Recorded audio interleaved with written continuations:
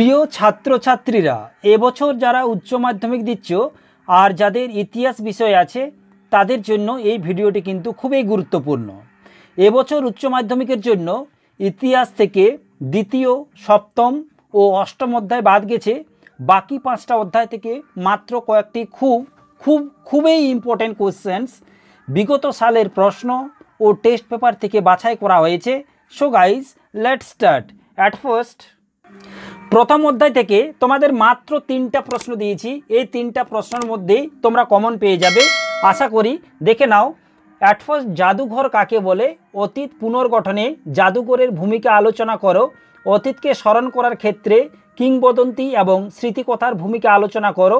বা প্রশ্নটা এরকম আসতে পারে, ইতিহাসের রচনায় স্মৃতিকথার গুরুত্ব কী? আর তিন নম্বর প্রশ্নটা হচ্ছে, পেশাদারি ইতিহাস বলতে কী বোঝো? পেশাদারি শাখা হিসাবে ইতিহাসের গুরুত্ব লেখো। এই তিনটা প্রশ্নের মধ্যে তোমাদের একটা তো আসবেই, দুটো প্রশ্ন কিন্তু আসতে পারে। আমি এক্সট্রা করে তোমাদের দুটো প্রশ্ন দিয়েছি, চাইলে তোমরা করতে পারো। তাছাড়া তিনটা প্রশ্ন করলে তোমাদের হয়ে যাবে। জাদুঘর কাকে বলে? অতীত পুনর্গঠনে জাদুঘরের ভূমিকা আলোচনা করো। লোককথা কাকে বলে? অতীত সময়কে তুলে ধরার ক্ষেত্রে লোককথার ভূমিকা আলোচনা করো। বেশ, এরপর তো দ্বিতীয় অধ্যায় তো বাদ গেছে।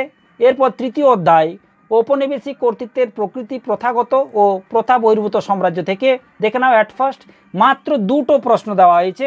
দুটো প্রশ্ন কিন্তু খুবই ইম্পর্ট্যান্ট দেখে নাও। ক্যান্টন বাণিজ্য কি? ক্যান্টন বাণিজ্যের প্রধান প্রধান বৈশিষ্ট্যগুলো আলোচনা করো। আর একটা প্রশ্ন যেটা আছে ব্রিটিশ ইস্ট ইন্ডিয়া কোম্পানির আমলে ভারতের ভূমি রাজস্ব ব্যবস্থার সংক্ষিপ্ত পরিচয় দাও। আর তিনটা এক্সট্রা তোমাদের প্রশ্ন দিয়েছি আমি, চাইলে তোমরা করতে পারো। দেখে নাও কে কবে চিরস্থায়ী বন্দোবস্ত প্রবর্তন করেন? চিরস্থায়ী বন্দোবস্তের শর্তগুলি লেখো। ভারতে রেলপথ স্থাপনের ঘটনা এদেশের অর্থনীতিতে কি প্রভাব ফেলেছিল?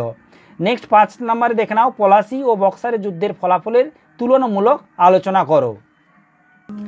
চতুর্থ অধ্যায়। চতুর্থ অধ্যায় থেকেও তোমাদের মাত্র দুটি প্রশ্ন দিয়েছি। এই দুটো প্রশ্ন কিন্তু খুবই ইম্পর্টেন্ট দেখে নাও, চীনে চৌঠা মে আন্দোলনের কারণ ও ফলাফল আলোচনা করো। আর দু নম্বর কোয়েশ্চেনটা হচ্ছে, সমাজ সংস্কার আন্দোলনে রামমোহন রায় ও বিদ্যাসাগরের অবদান আলোচনা করো। এক্সট্রা আমি প্রশ্ন আর দুটো দিয়েছি, তোমরা করতে পারো। মুসলিম সাম্রাজ্যের বা সমাজের অগ্রগতিতে আলিগড় আন্দোলন বা সৈয়দ আহমেদ খানের অবদান আলোচনা করো। আর চার নম্বরে, ডিরোজিও এর নেতৃত্বাধীন নব্যব্যঙ্গ আন্দোলনের বিবরণ দাও। এই আন্দোলন কেন ব্যর্থ হয়েছিল? এরপর দেখে নাও, পঞ্চম অধ্যায় থেকে তিনটা প্রশ্ন দেওয়া হয়েছে। তিনটা প্রশ্ন খুবই ইম্পর্ট্যান্ট একটা প্রশ্ন তো আসবেই, দুটো প্রশ্ন কিন্তু আসতে পারে। দেখে নাও, বড়লাট আইনের উদ্দেশ্য ও শর্তগুলি লেখো। গান্ধীজি কেন এই আইনের বিরোধিতা করেছিলেন? দ্বিতীয় বিশ্বযুদ্ধের সময় বাংলায় দুর্ভিক্ষের কারণগুলি কী ছিল? আর তিন নম্বর কোশ্চেনটা হচ্ছে মন্টেগু চেমসফোর্ড সংস্কারের বৈশিষ্ট্যগুলো লেখো, এই আইনের ত্রুটিগুলি উল্লেখ করো।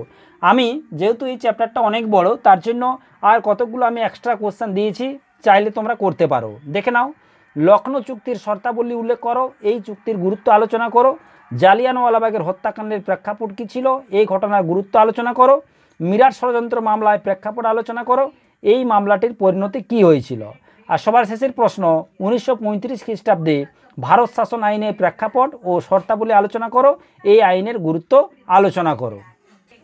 আর শেষ অধ্যায় যেটা তোমাদের, ষষ্ঠ অধ্যায়, দ্বিতীয় বিশ্বযুদ্ধ ও উপনিবেশ সমূহ থেকে মাত্র আমি তিনটা প্রশ্ন দিয়েছি। দেখে নাও অ্যাট ফার্স্ট কোন পরিস্থিতিতে ক্রিপস মিশন ভারতে আসে? ক্রিপস মিশনের ব্যর্থতা ও প্রভাব আলোচনা করো। ভারতের স্বাধীনতা সংগ্রামে আজাদ হিন্দ ফৌজ এবং সুভাষচন্দ্র বসুর অবদান আলোচনা করো। তিন নম্বরে, হো চিন মিনের নেতৃত্বে ভিয়েতনামের মুক্তিযুদ্ধের সংক্ষিপ্ত বর্ণনা দাও। আর দুটো আমি এক্সট্রা কোশ্চেন দিয়েছি, তোমরা চাইলে করতে পারো। নৌ বিদ্রোহের কারণ ও তাৎপর্য আলোচনা করো। মাউন্ট প্যাটেন পরিকল্পনার মূল বিষয় কী ছিল? এই পরিকল্পনার ফলাফল আলোচনা করো।